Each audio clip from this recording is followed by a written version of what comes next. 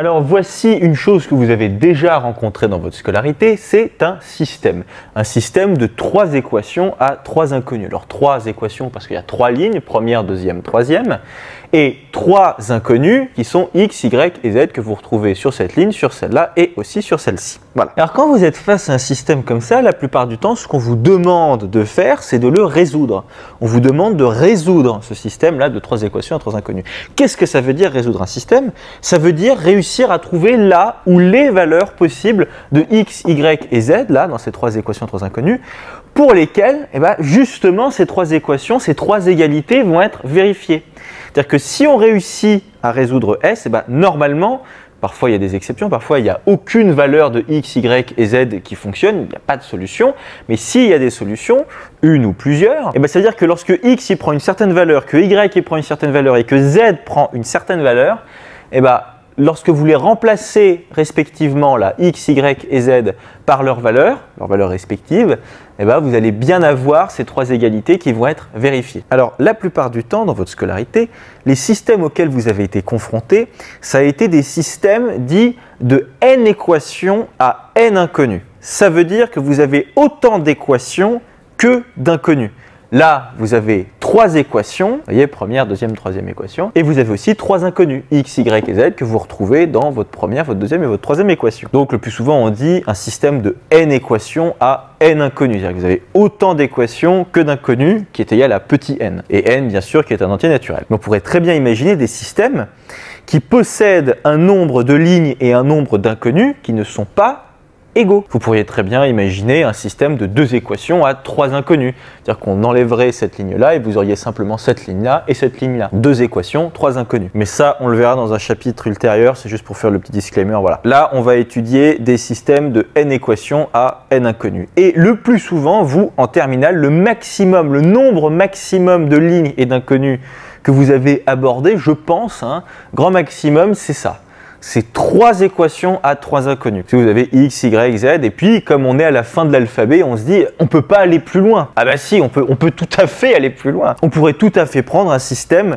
de quatre équations à quatre inconnus par exemple. Il suffirait simplement de prendre une inconnue en plus qu'on appellerait A ou B, voilà, peu importe. On pourrait très bien imaginer un système de, je sais pas, 18 équations à 18 inconnues. Mais plus généralement, on parle de système de n équations à n inconnues. Ici, petit n est égal à 3, mais attention, c'est un exemple.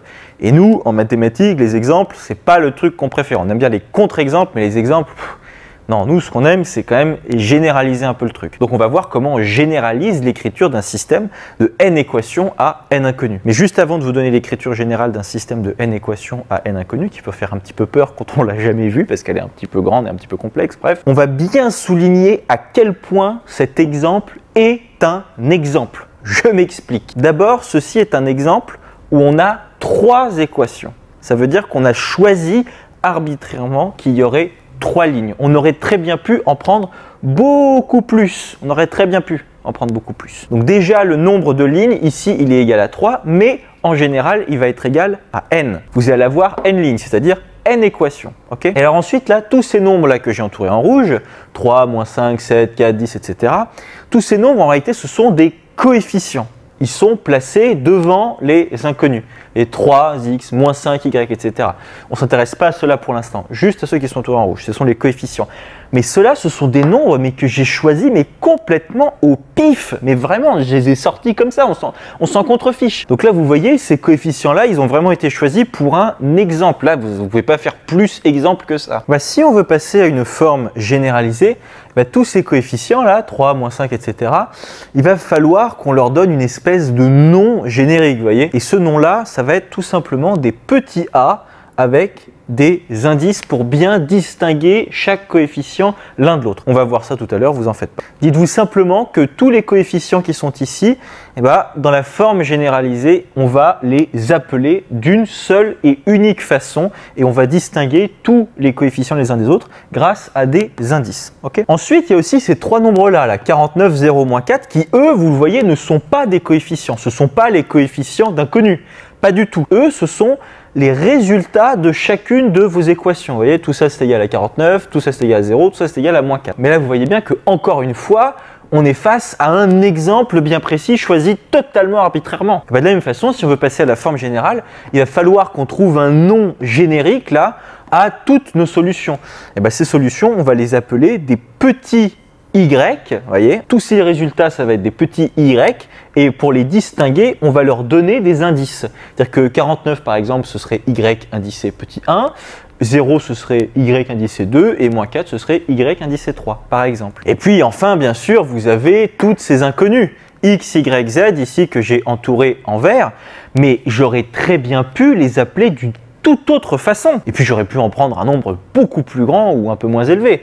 Là, j'ai choisi complètement aléatoirement d'en prendre 3 parce que j'ai pris totalement arbitrairement et un peu aléatoirement aussi, je dois vous l'avouer, un système de trois équations à trois inconnus. Mais j'aurais pu prendre vraiment beaucoup, beaucoup plus d'inconnus. Donc quand on va passer à la forme généralisée, il va bien falloir qu'on donne encore ici nom générique à toutes nos inconnues, pour bien voir que ce sont elles les inconnues, mais aussi il va falloir qu'on réussisse à distinguer les inconnues les unes des autres. Là c'est assez simple, vous avez trois lettres différentes, X, Y et Z, mais vous pourriez très bien avoir beaucoup plus d'inconnus que de lettres dans l'alphabet. Donc qu'est-ce qu'on va faire? Eh bien toutes nos inconnues, on va les appeler petits x, mais pour les différencier les unes des autres, on va les indicer différemment les unes des autres. On va toutes les appeler des petits x et on va les indicer différemment. x par exemple, dans la forme générale, ça va être x indicé petit 1, y ça pourrait très bien être un x indicé petit 2 et z un x indicé petit 3. Et si jamais vous aviez 10 000 inconnus, bah la 10 millième inconnue ce serait x indicé petit 10 000.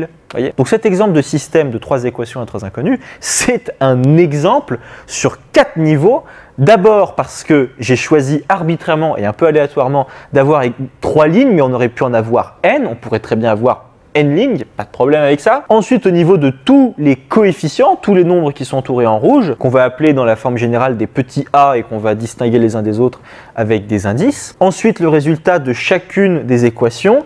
49, 0, 4, bon, ça peut vraiment être n'importe quoi, et donc on va les appeler dans la forme générale des petits y qu'on va indicer, encore une fois, pour pouvoir distinguer les résultats les uns des autres. Et puis aussi, et surtout, vous avez vos inconnus x, y et z, mais qui peuvent être vraiment beaucoup plus nombreuses, et que dans la forme générale, on va appeler des x et qu'on va indicer pour pouvoir les distinguer les unes des autres. Maintenant, on va passer à la forme générale. Et voilà donc la forme générale. Alors vous en faites pas, en fait, c'est bateau de chez bateau quand on comprend ce que signifient toutes ces notations. Alors d'abord, système de n équations. Alors n équations, pourquoi? Regardez, 1, 2, des pointillés, c'est-à-dire 3, 4, ième équation, parce que c'est i, et voilà, i il appartient à un n, bon, etc., etc. Et on va jusqu'à n. Là, en fait, vous avez n lignes.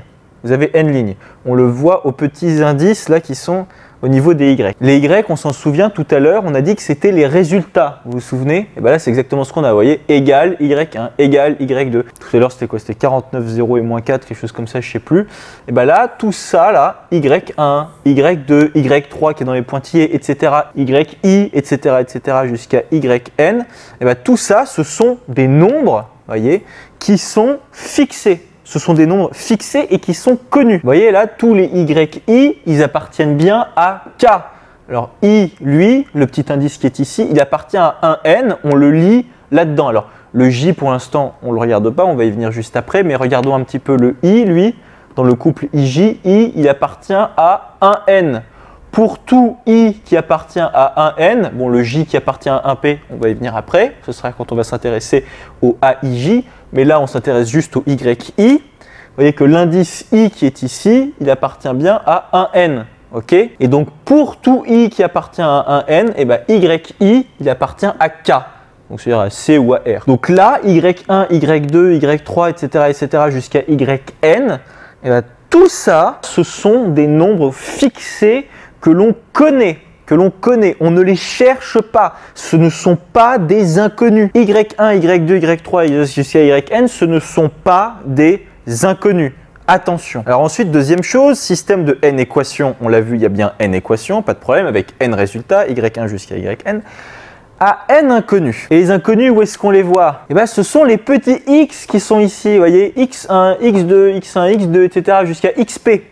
Tout ça, ce sont vos inconnus. Donc tout à l'heure, on les avait entourés en vert, on va faire de même ici. Et alors la surprise, parce que des inconnus, vous en avez combien? X1, 1, 2, 3, 4, jusqu'à xp. Vous avez P inconnus. Vous n'en avez pas forcément n. Parce que c'est vrai que depuis le début, je vous parle exclusivement de systèmes de n équations à n inconnus. Parce que c'est ce à quoi vous avez été confronté le plus souvent dans votre scolarité, c'est-à-dire des systèmes qui comportent le même nombre de lignes que d'inconnus. Par exemple, des systèmes de 3 équations à 3 inconnus, des systèmes de 10 équations à 10 inconnus. Mais vous pourriez très bien avoir des systèmes, je ne sais pas moi, mais de 2 équations à 3 inconnus, par exemple. Qu'est-ce qui nous en empêche? P, il peut très bien être plus grand que n ou inférieur, on s'en fiche. On s'en fiche complètement, on peut prendre le nombre d'inconnus qu'on veut. Vous voyez ce que je veux dire? Donc ici, vous n'avez pas n inconnus, vous en avez p. En règle générale, vous en avez p.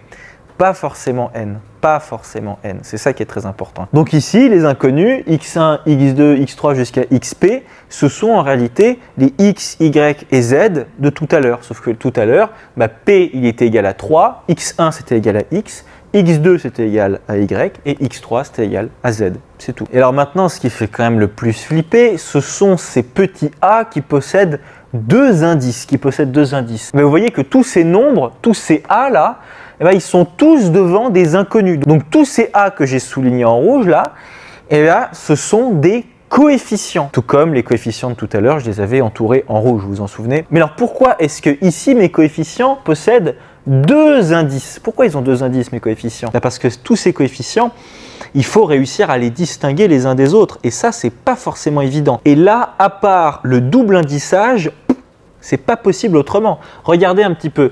Pour les Y, c'était assez simple de distinguer les uns des autres. Il suffit simplement de les indicer avec un seul indice. Un seul indice, ça suffit parce que vous avez une seule colonne. Et donc dans cette colonne-là, vous allez simplement indicer avec le nombre de lignes. Il n'y a pas de problème. Première ligne, Y1. Deuxième ligne, Y2. Ième ligne, YI. Énième ligne, YN. Pas de problème. Et pareil pour vos inconnus. Mais sauf qu'ici, c'est une histoire de colonne. Parce que là, vous voyez, vous êtes dans votre première colonne, vous avez les X1 deuxième colonne les x2, troisième colonne les x3, pème colonne les xp. ok? Alors que vos coefficients, là, les a, eux, il faut qu'on réussisse à les distinguer non seulement au niveau des lignes, mais aussi au niveau des colonnes. Et donc c'est pour ça qu'on a un double indissage qui intervient. Et alors je vous le dis tout de suite, c'est exactement comme pour les matrices, et on va voir le lien dans la vidéo d'après. Quand vous êtes face à un coefficient A, son premier indice, c'est toujours la ligne, voyez, Là, vous êtes sur la première ligne, donc tout cela, leur premier indice, ça va être un 1. Voyez et le deuxième indice de vos A, ça va être la colonne. Très important. Par exemple, ici, vous êtes première ligne, deuxième colonne, 1, 2. ok Là, vous êtes à la énième ligne et vous êtes à la pème colonne, donc a indicé NP. Donc N et P, c'est écrit là, ce sont bien évidemment des entiers naturels non nuls. Et pour tout IJ qui appartient à un N croix un P, c'est-à-dire que I, il appartient à un N, J, il appartient à un P, et bah, tous les AIJ, ils appartiennent à K. Ça veut dire qu'ils sont fixés. K, c'est soit R, soit C. Il n'y a pas de problème. Donc, soit c'est des réels, soit c'est des complexes. Mais ce que ça veut dire, c'est que Là, tous ces coefficients, ils sont fixés, ce ne sont pas des inconnus. On ne les cherche pas, ils nous sont déjà donnés. C'est ça le truc. Et bien comprendre que le petit i qui est ici, là, qui est là, il appartient bien à un n, parce que vous avez n lignes, et le petit j qui est ici, qui est là, lui, il appartient à un p, parce que vous avez p colonnes. Là, en fait, vous êtes face à un système de n équations à p inconnues. n équations, p inconnues. Très important.